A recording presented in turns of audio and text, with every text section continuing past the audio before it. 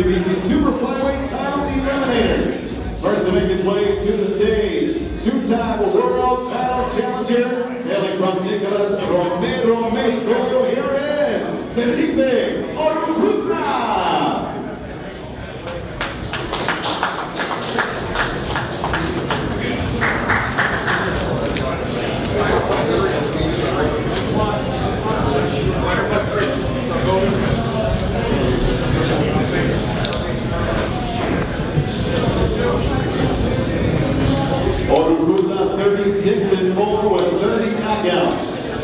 Transformation former two-time world title challenger. Going head up with fellow Mexican in this title eliminator. El Gallito contra El Gallo. And here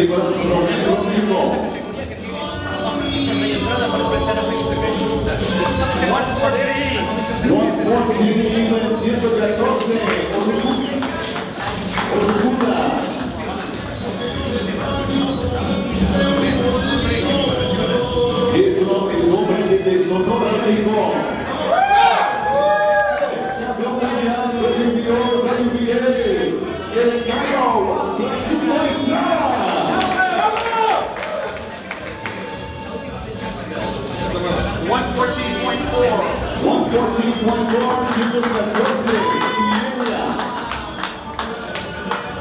114, one half. For the two-time flyweight champion of the